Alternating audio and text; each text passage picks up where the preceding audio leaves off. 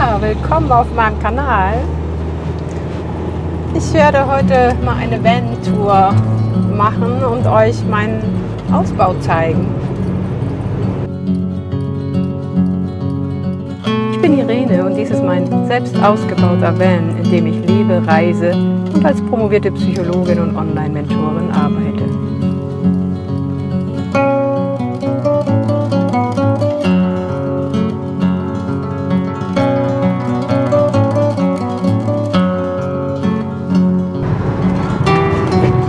Was zu dem Auto noch zu sagen ist, ähm, von den technischen Details, das ist ein Mercedes Citan.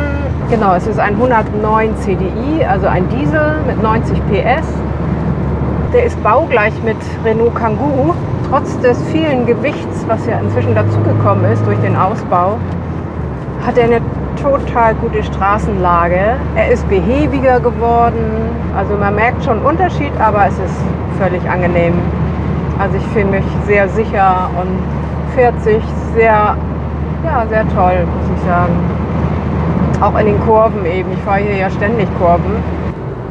Äh, ach so, das ist ein, die einfachste Ausstattung. Hat halt keine Klimaanlage. Und was super toll ist, der hat halt einen sehr geringen Verbrauch. Im Durchschnitt habe ich 5,0 bis 5,1 ungefähr auf 100. Und ich finde das einfach total cool, dass ich unauffällig mitten in der Stadt zwischen parkenden Autos über, übernachten kann und das fällt gar nicht auf. Kann halt keiner von außen nach innen gucken. Diese Scheibengardinen habe ich aus Schiebegardinen von Ikea genäht und man sieht, dass man davon quasi von innen durchgucken kann und die lassen auch Licht durch, aber von außen kann man eben überhaupt nicht reingucken. Und die habe ich hier einfach so mit Magneten, die ich da eingenäht habe, angebracht. Das ist sehr einfach. Ja, und dann können wir mal nach drinnen schauen.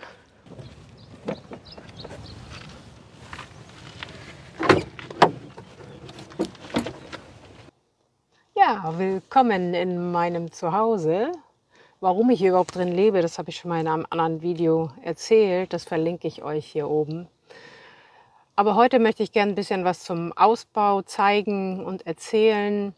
Ich habe das hier ja zum größten Teil wirklich auch alleine ausgebaut. Am Anfang hat mir mein Mann noch geholfen, bis das Projekt ein bisschen ausartete und so lange dauerte. Es hat nämlich, ja, ich glaube, gut zwei Jahre gedauert, bis es fertig war.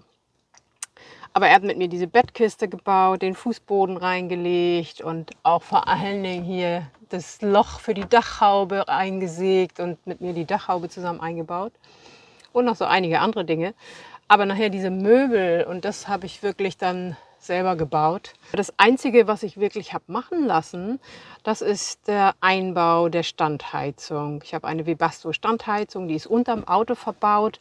Und das habe ich bei Frank Kretschmer in äh, Leipzig bei Autotronik machen lassen. Das hatte ich in einem Video von René Krea gesehen. Den kennen vielleicht die einen oder anderen von euch auch. Von ihm habe ich viele Ausbauvideos gesehen.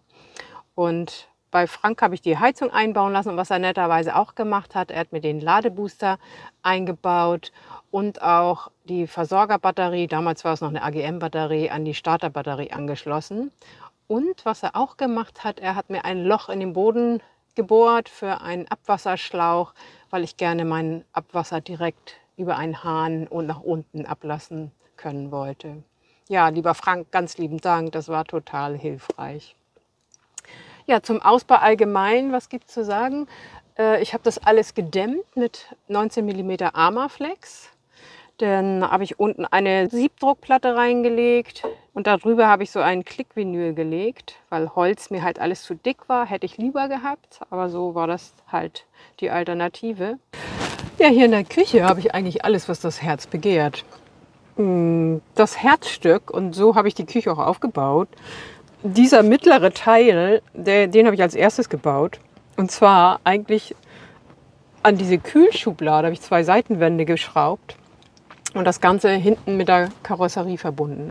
Die finde ich halt mega cool. Also diese, diese Kühlschublade, die kommt, glaube ich, aus dem Yachtbereich. Die ist natürlich klein, aber für mich ist sie groß genug.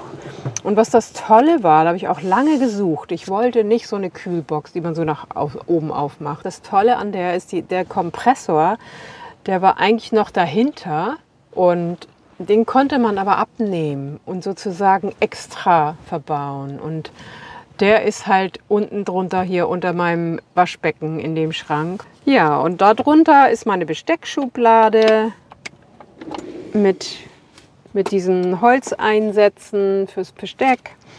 Die liebe ich aus, einfach mega praktisch und übersichtlich. Darunter ist meine Topfschublade und die ist von der Tiefe nicht so tief, weil dort der Radkasten ist. Aber es reicht total für eine Pfanne, für zwei Töpfe, für ja, alles, was ich brauche. Ist perfekt. Und das Ganze habe ich halt mit diesen Verschlüssen gemacht, mit diesen Push-Locks gesichert und mit solchen Soft-Lock-Schubladenauszüge. Das war ziemlich wow kompliziert, das da alles reinzukriegen. Weil zu dem Ausbau muss man sagen, hier in diesem Auto ist ja nicht, es gibt ja keine geraden Wände. Und ich glaube, der Boden ist irgendwie auch noch schief geraten. Ich weiß nicht wieso. Und da dann irgendwie so ein Möbelstück einzupassen, das war eine Riesenherausforderung. Und dann noch Schubladen zu bauen. Ich weiß es nicht, ob es hier wirklich irgendeinen rechten Winkel gibt. Doch wahrscheinlich schon. Aber habe ich versucht hinzukriegen. Aber bei dieser einen Schublade, da, ich weiß nicht, da musste ich das echt ausgleichen. Aber äh, ja, das, ich war, weil das Ganze hier irgendwie auch noch so schräg ist, ist es in jeder Richtung hier irgendwie schief und krumm. Also daran sieht man auch, dass das halt kein Tischler oder Schreiner gebaut hat, sondern ein Laie. ja, in dieser Schublade, ich habe sogar einen kleinen Eierkocher, weil ich habe halt viel Strom, aber wenig Wasser.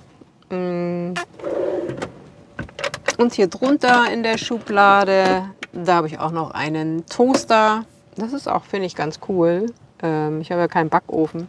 Und hier ist halt meine ähm, Induktionskochplatte drin mit so einem Auszug. Das ist auch echt mega praktisch. Also ursprünglich hatte ich das eigentlich geplant für einen Gaskocher. Der passt da auch rein. Also so ein Gaskartuschenkocher. Der ist aber jetzt hier in der Kiste. Das ist sozusagen nur meine Notfalloption. Oder manchmal ähm, stelle ich den auch draußen auf den Tisch, wenn ich irgendwie zwei Kochplatten brauche. Ich liebe das mit diesem Induktionskochfeld, weil das kann ich auch immer nutzen. Ich kann das bei geschlossenen Türen nutzen. Ich kann dann immer noch hier oben aufmachen und auch die Lüftung anmachen, wenn, ich, wenn viel Wasserdampf ist. Aber ich habe halt keine offene Flamme und kann auch, wenn es regnet und ich alles zu habe, hier kann ich trotzdem kochen. Also es ist richtig toll. Das würde ich immer wieder so machen. Dann ist hier noch ein Fach unter der Spüle. Ja, da sind so Spülzeugsmittel und Lappen und ähm, Müllbeutel, alles, was man so sonst noch so braucht. Hinter dieser Klappe verbirgt sich meine Wasserversorgung und da sieht man auch den Kompressor von der Kühlschublade. Dafür habe ich in die Klappe extra so ein Lüftungsblech eingebaut. Und das sind meine beiden Kanister, links Frischwasser, rechts Abwasser, 12 Liter jeweils. Und da ist der Abwasserschlauch verbaut und so ist der Hahn halt zu. Aber ich habe ihn ehrlich gesagt meistens, wenn es geht, offen, weil ich nutze überhaupt kein Spülmittel, sondern nur reines Wasser. Und das lasse ich dann, wenn möglich, einfach rauslaufen. Ja, hier habe ich noch einen Entlüftungsschlauch am Abwasserkanister und der geht bis ganz nach hinten durch. Den habe ich dort verlegt und da einfach eingeklemmt, damit da kein Regenwasser reinläuft. Dies ist eigentlich meine Außendusche, aber die Tauchpumpe nutze ich zum Wasserauffüllen. Da habe ich so einen Gardena-Adapter dazwischen gebaut und hier das Gegenstück kann ich da anschrauben und das da anschließen. Und dort habe ich noch eine 12 Volt Steckdose. Da kommt dann der 12 Volt Stecker von der Tauchpumpe dran. Und dann nutze ich entweder meine Faltschüssel oder auch tatsächlich diese 8 Liter Flaschen, da passt die Tauchpumpe rein. Dann kann ich mein Wasser ganz einfach auffüllen. Das ist wirklich sehr praktisch und geht relativ schnell. Und gleichzeitig ist mein Duschkopf, den kann ich da dran klicken. Und hier gibt es noch so einen Haken extra, den kann ich dann da einhängen. Und hier habe ich hinten auch noch eine 12 Volt Steckdose mit einem Schalter verbaut. Und dann kann ich hier einfach duschen. Das ist sehr praktisch. Und hier habe ich halt meine Gewürze. Das habe ich auch schon mal in einem Video gezeigt. Das ist ein Fundstück vom Strand in Amrum, wo ich eine Zeit gelebt habe. Ja, und hier sind auch Lampen unter, sodass ich hier immer ganz gut Licht habe. Und diese Schränke hier oben, oh, die liebe ich auch. Das habe ich wirklich mit der Stichsäge ausgesägt. Oh Gott, das war ein Akt. Und habe dahinter Plexiglas dann draufgeklebt auf die Rückseite von, von der Tür. Ja, diese Verschlüsse kommen auch aus dem Yachtbereich, die eigentlich so dafür sind, eine Tür festzuhalten, aber äh, ich habe das etwas umfunktioniert. Ja, und hier in diesem Schrank habe ich mein Geschirr drin. Das ist eigentlich auch alles, was ich habe. Ja, und hier habe ich eigentlich immer noch ein bisschen Proviant drin, was ich so brauche. Ja, und diese Seite hier, ähm, hier habe ich auch noch immer Lebensmittel drin, was ich gerade so habe. Mein, mein Obst oder Salat, was immer, oder Gemüse. Das kommt immer alles hier rein. Und hier drin passen genau acht anderthalb Liter Wasserflaschen rein. Ja, das ist sehr praktisch mit diesem tiefen Fach.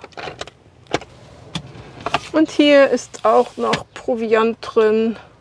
Und hier, hier habe ich so meine Laptop-Kabel und meine Notizbücher, was ich gerade so alles zum Schreiben immer brauche. Ja, hier ist eher meine Deko-Ecke. Nein, hier ist meine Klangschale und ach so, was mir lieb und heilig ist. Und hier habe ich noch meine GBL-Box. Oh, das liebe ich auch. Da habe ich extra hier noch so dazwischen so ein Loch reingesägt, damit der Klang sich besser verteilt. Ja, ich liebe Musik. Und da oben sind noch so Kleinkramfächer. Und da habe ich halt auch noch so kleine Türchen reingebaut, weil irgendwie sieht es ja auch immer nicht so schön aus, wenn man da so viel Krempel drin hat. Diese Fächer hier halt, ja, das war, das werde ich auch im Ausbauvideo nochmal zeigen, wie wir das gebaut haben. Das war ein unglaublicher Aufwand, aber, aber das Ergebnis ist irgendwie so eine Freude und ich gucke das so gern an und freue mich da eigentlich jeden Tag irgendwie drüber. Ja, und hier ist sozusagen mein Badezimmer, da ist mein Shampoo und Zahnbürste und alles drin und eine Bürste. Und dann da auch noch, was weiß ich, Pflaster und Kleinkram und, und eine Stirnlampe und alles, was man ja noch so an Kleinigkeiten hat. Ja, ich habe jetzt hier einfach mal alle Polster rausgenommen, dann sieht man das besser. Und ich habe diese ganzen Schlitze hier, die habe ich ausgefräst. Also das kann man bestimmt einfacher machen. Das war eine wahnsinnige Arbeit. Ja, da habe ich ziemlich viel Stauraum in den Kisten. In dieser Kiste hier habe ich meine ganzen Schuhe, viel zu viele. Ich brauche die alle überhaupt nicht. Hier habe ich ja meine Auszüge fürs Bett. Das kann ich auch noch mal zeigen. Die habe ich auch erst im Nachhinein gebaut. Und habe hier auch so eine U-Aluschienen verbaut. Die habe ich dann mit ähm, Filz verklebt, damit das nicht so kratzt. Man kann das hier ausklappen. Hier habe ich auch solche Scharniere einfach benutzt. Dann kann ich das hier, ups, die Beine ausklappen. Da habe ich solche Winkel dran geschraubt. Ähm, und das wird dann da einfach so eingehängt. Das hält total gut. Ist echt super. Also es war halt eine nachträgliche Idee, weil erst hatte ich das gar nicht so geplant. Und da habe ich immer überlegt, wie kann ich mir denn einen Bettauszug bauen. Und so ist das. Und das habe ich halt für jede Kiste. Und es ist total stabil.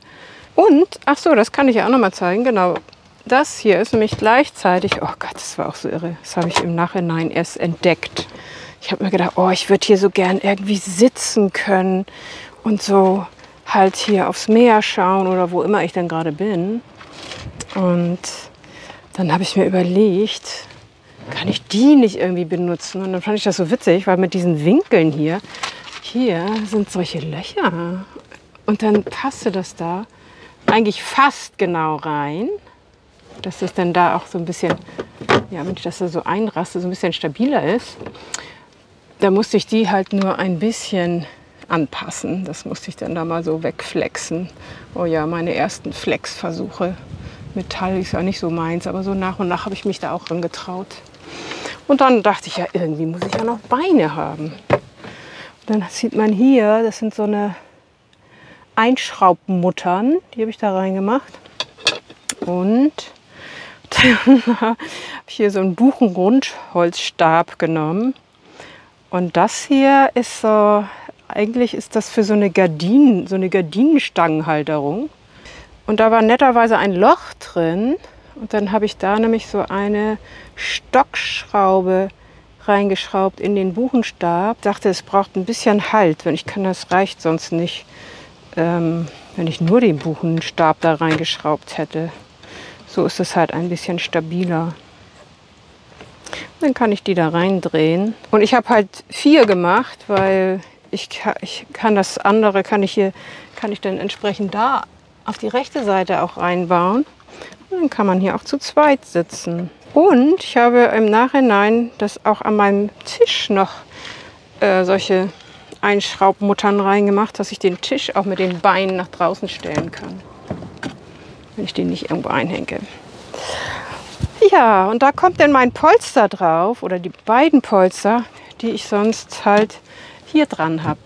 Die passten witzigerweise auch zufällig. Es sah ein bisschen spittelig aus, aber es hält. Hat sich bewährt. Und hier in die Stange kann ich dann halt meinen Tisch einhängen. Ja, dann sieht das so aus. Das ist wirklich sehr nett, wenn ich mich da hinsetze. Oh, herrlich. Ah. Ja, und hier in meiner Schuhkiste, da sieht man auch, da kommt das von der Standheizung, dieses äh, Auslassrohr. Also unter dieser Verkleidung ist so ein Schalldämpfer. Das Auslassrohr darunter, das habe ich halt auch verkleidet. Und da ist der erste ähm, Auslass, dann der zweite Auslass. Ja, und die nächste Kiste, oh Gott, hier wird es, glaube ich, ziemlich rumpelig. Ja, hier ist noch mein Gaskocher.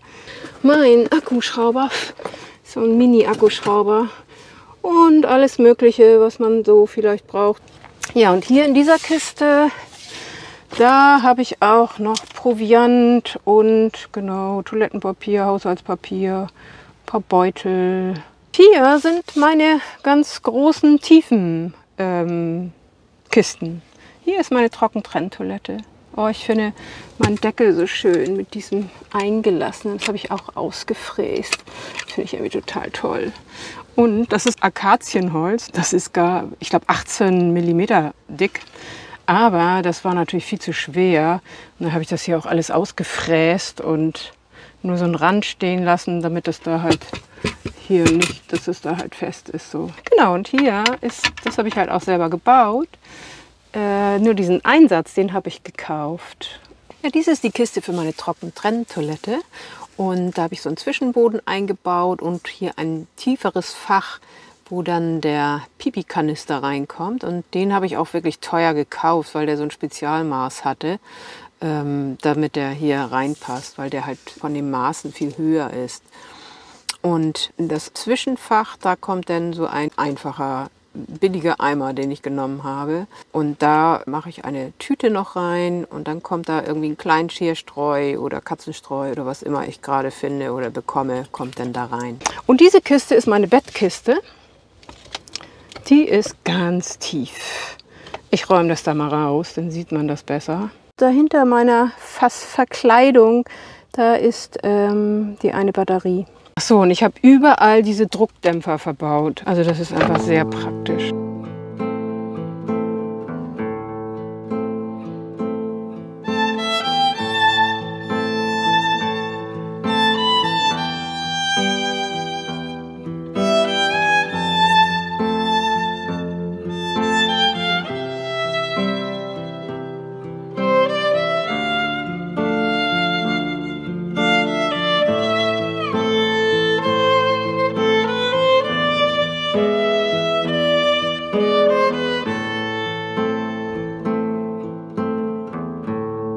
Was ich auch, was ich total toll finde, ist dieser kleine, mein kleiner Tresen, so nenne ich das immer.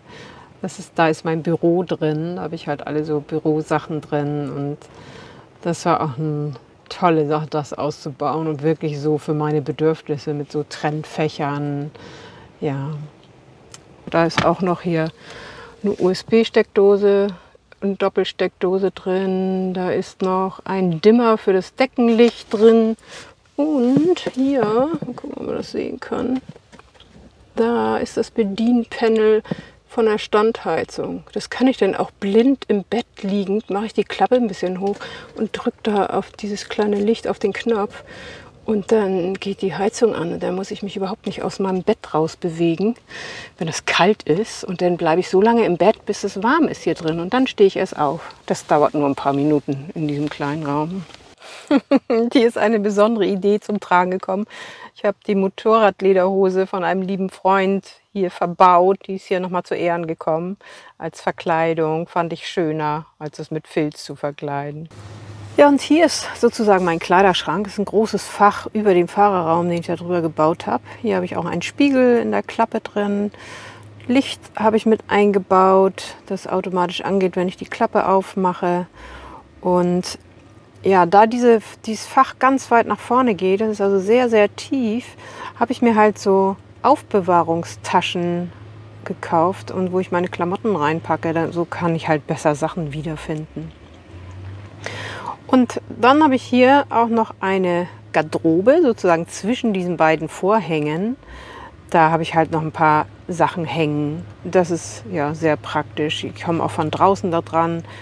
Achso, diese Lampen sind halt auch total praktisch hier. Die, die kann ich auch noch draußen machen. Das ist irgendwie sehr nett, wenn ich draußen koche, dann habe ich draußen Licht. Die kann man halt überall hin bewegen, wie man sie braucht. Und die haben hier einen Touchschalter und der gleichzeitig auch ein Dimmer ist. Ja, und vielleicht so generell noch zu den Möbeln. Das hat auch mal jemand gefragt, was ich da für Holz verbaut habe. Hm. Also diese Fronten, die man wirklich so sieht, diese hellen Fronten, die sind alle aus Kiefernsperrholz, genauso wie diese Dachplatte. Genau, da kann ich vielleicht auch noch mal zu sagen, dass ich, das ist auch 4 mm äh, Kiefernsperrholz und da habe ich halt Nuten reingefräst. Die Nuten sind 2 mm. Das hatte halt den Vorteil, dass ich das dann noch viel besser biegen ließ. Und dann habe ich die Nuten gefüllt mit ähm, braunen Sikaflex. Ich finde, es sieht mega cool aus. Also mir gefällt es richtig, richtig gut. Es ist auch Kiefernsperrholz. Das ist hier, glaube ich, äh, 6 mm, diese Front hier und auch diese, diese Türen hier. Und das habe ich alles mit Hartwachsöl behandelt. Alle braunen Oberflächen, die habe ich gebeizt, dann auch schön nochmal geschliffen und dann habe ich das mit Yachtlack lackiert. Und diese Platten, das ist eine äh, Akazienholzplatte aus dem Baumarkt. Die sind auch nicht so teuer. Die habe ich sehr geschliffen und dann auch mit Hartwachsöl behandelt. Hier habe ich dann diesen Ausschnitt, da habe ich mir dieses Brett gebaut, ähm, weil ich das gerne zu haben wollte. An der Arbeitsplatte habe ich noch Kupferrohre angebracht ähm, mit Buchenrundstäben, die ich in die Arbeitsplatte gestraubt habe. Und da habe ich das so drauf gehämmert, teilweise verschraubt, wenn es nicht fest genug war. Und da kann ich halt Handtücher aufhängen, aber ich kann eben auch meine Tischplatte da einhängen und an beiden Türen habe ich die auch. Die Türen habe ich mit 4 mm Kiefernsperrholz verkleidet, auch gebeizt und lackiert. Und Ansonsten habe ich die Türen mit Filz bezogen und den Griff hier an dieser Tür, den habe ich auch aus einem Fundstück von der Elbe, einfach ein Stück Ast gebaut und da dran geschraubt an die Platte. Ja, und für alle tragenden Konstruktionen habe ich Lattenholz verwendet und Birke Multiplex Platten, weil die einfach stabiler sind in 12 oder 15 mm Dicke. Und da sieht man halt meinen Tisch, der ist hinter der Sitzlehne vom Fahrersitz verstaut. Der ist halt auch aus Akazienholz. Ähm, am Anfang hatte ich, zuerst hatte ich den halt massiv und den, oh, der war echt schwer. Und dann habe ich irgendwann das hier alles ausgefräst und um das ein bisschen leichter zu machen. Und ich habe das Filz habe ich da halt nur drauf geklebt, weil es, weil es nicht so ganz toll einfach war, das da glatt zu schleifen. Das hat mein Auge gestört. Und den finde ich auch echt wunderschön. Also das war auch, ähm, da, da wäre ich alleine, glaube ich, nicht drauf gekommen. Das ist auch in einer Inspirationssitzung mit meinem Mann entstanden. Ähm, der meinte, das reicht halt ein, so ein Halter. Ich konnte mir das erst gar nicht vorstellen. Ja, und ich habe hier halt diese, das sind, das sind so für so eine Gardinenstange die Halterung. Genau, und dann habe ich hier eine Nut reingefräst, dass die so, genau, und da ist, die Nut ist halt das Gegenstück dazu, ne? dass es da genau reinpasst. Hm, ja, das war auch ein ganz schöner Akt, das irgendwie alles zu fräsen, wenn man so gar keine Ahnung vom Fräsen hat. Aber ich finde es irgendwie auch so schön geworden. schön geschliffen und rund gemacht. Genau, das ist mit so einer ähm, Einhandfräse. Das fand ich auch toll, alles rund zu machen. Ja, und dann kann man das da ganz leicht reinschieben. Das geht irgendwie mega cool. Und das ist mein Tisch. Und den kann ich jetzt hier halt überall einhängen, egal wo. Sei es hier. Und das kann ich halt immer entsprechend verschieben. Was ich auch toll finde, wenn ich hier meine Tastatur drauflege, ist mir das ja eigentlich viel zu hoch. Dann kann ich das halt so ein bisschen abklappen. Und der ist halt ganz schnell wieder weggepackt. Einfach das rausmachen. Und da hinterm Polster, hinterm Sitz verschwinden lassen. Schwupp, weg ist er. Ja, Prost. Hm. Ja, und hier steht mein Mülleimer. Ich finde es einfach so toll. Den kann man überall einhängen hier.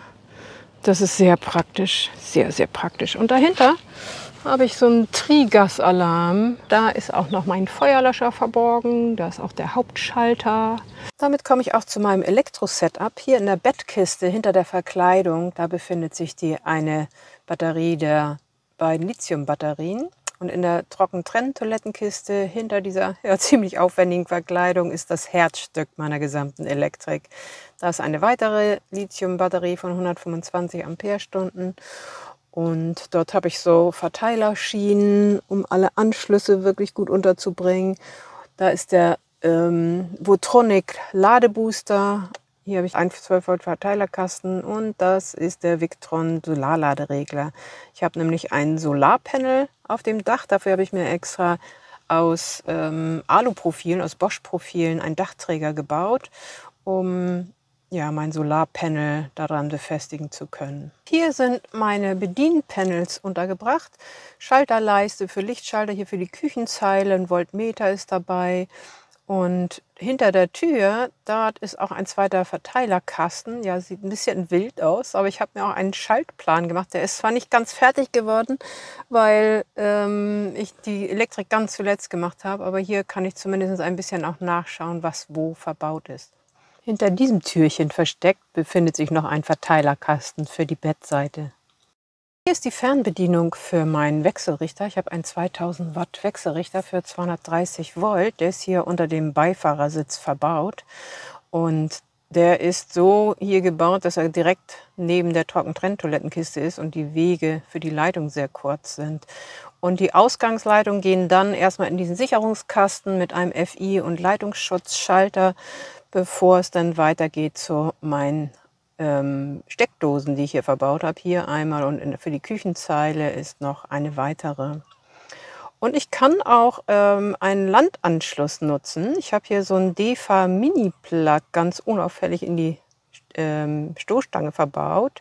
Da gibt es extra diesen Anschluss dafür, äh, den man dann einfach in eine Steckdose stecken kann. Und hier geht das dann weiter. Der ähm, Stromeingang sozusagen und da ist auch noch ein kombinierter FI- und Leitungsschutzschalter verbaut. Ja, zur Elektrik muss ich vielleicht noch mal ein paar Worte verlieren. Das war für mich die größte Herausforderung und den größten Teil der Elektrik, vor allem die 230 Volt Elektrik und das mit dem Solarpanel, das habe ich sehr, sehr lange vor mir hergeschoben. Und ich habe immer danach gesucht, wer das für mich machen kann und habe aber irgendwie nie jemand gefunden. Ja, ich wusste irgendwann, oh, ich muss mir das auch noch reinziehen. das hat mich wahnsinnig gemacht, weil ich muss dazu sagen, ich begreife einfach Elektrik nicht, ich begreife Strom nicht. Ich habe das irgendwie noch nie kapiert und dann wollte ich hier die Elektrik einbauen. Ja, das war eine große Challenge für mich ich habe mich da sehr intensiv mit befasst, mich da ab zig Videos geguckt. Ich habe mich an allen Ecken und Enden schlau gemacht, ähm, ja, halbes kleines Elektrikstudium absolviert und habe das tatsächlich alles, alles wirklich selbst eingebaut und selbst zusammengestellt. Mm. Ich habe einen Freund, der ist Elektriker, den habe ich mal zwischendurch um Rat gefragt. Aber ansonsten habe ich das wirklich alles selber gemacht. Ich möchte das überhaupt niemandem empfehlen. Und auch wenn ich nochmal ein Ausbauvideo mache, ich werde das nicht als Anleitung machen, dass andere das nachmachen können. Weil ich weiß, das ist eine heikle Sache und ich weiß, dass viele auch, wenn sie auch meinen meinen ähm, Schaltplan sehen, wenn jemand vom Fach ist, schlägt wahrscheinlich die Hände über dem Kopf zusammen. Aber das war einfach für mich nur, dass ich einen Überblick habe, wo was wie verschaltet und verdrahtet und verbaut ist. Ja, das war eine ganz große Herausforderung, aber ich habe sie gemeistert und es funktioniert alles. Ja, das wollte ich aber nochmal zur Elektrik sagen. Und trotzdem muss ich sagen, ich habe es immer noch nicht kapiert, wie, Elektrik und wie Strom funktioniert. Aber es funktioniert. Und vielleicht muss ich das auf Verstandesebene irgendwie nicht kapieren. Ja, ich zeige euch gerne mal, wie ich mein Bett aufbaue. Mal gucken, ob man auf diesem kleinen Raum so mit Film geht. Ich werde es mal versuchen. Also was ich als erstes mache, erstmal kommen die Kissen mal kurz beiseite. Und dann mache ich die Auszüge raus. Also ich nehme nur hier vorne diesen hier. Und, und das Schöne ist, ich kann das halt auch alles machen, wenn es draußen regnet. Also ich kann die Türen zu haben und das geht halt jederzeit, ohne dass ich das von außen machen muss. Also ich kann das alles von innen machen. Ja, das schiebe ich ein bisschen nach da. Ja, und dann kommt hier dieses lange Polster, kommt dahin. Und was ich dann mache, ich nutze halt diese Decke, weil ja überall hier so eine Ritzen sind die, und auch als Schutz für, für das Polster oder für die Polster. Also inzwischen habe ich ja schon ein bisschen Routine. Das geht halt total gut. Auch ganz heimlich im Dunkeln irgendwo in der Stadt. Ne, beziehungsweise ich kann ja die Gardinen alle zumachen und trotzdem Licht anmachen. Oh, es ist so gemütlich denn hier drin. Und dann ist es mir egal, ob ich mitten in Lissabon oder Hamburg oder sonst wo stehe oder in Porto, habe ich halt zwischen parkenden Autos an der Straße übernachtet, weil es schon dunkel war und ich keinen Platz mehr gefunden habe und ich wusste wohin. So, und dann kommt meine große Kiste ins Spiel. Und dann habe ich hier so ein einfaches Spannbettlaken. Dann kommt noch meine Bettdecke hier raus.